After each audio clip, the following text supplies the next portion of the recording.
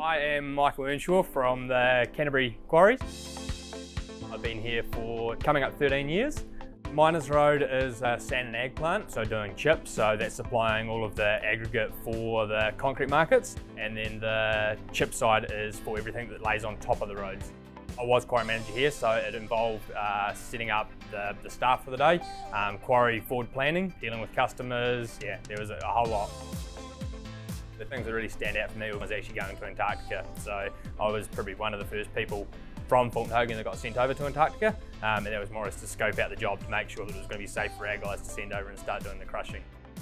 It's um, one of those industries that's really cool. There's some real good buggers around where I've met a lot of my friends as well.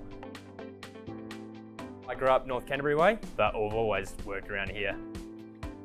I think the thing about Canterbury is it's got everything that's really, really close to it. You've got the mountains that are just here, you know, an hour and a half away, and you've got the sea. So, you know, you get the best of both worlds.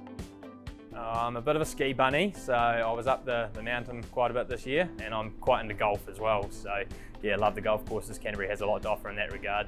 If you're into jet boating as well, you've got the, the local river, pretty nice braided river. So, yeah, good jet boating up there as well.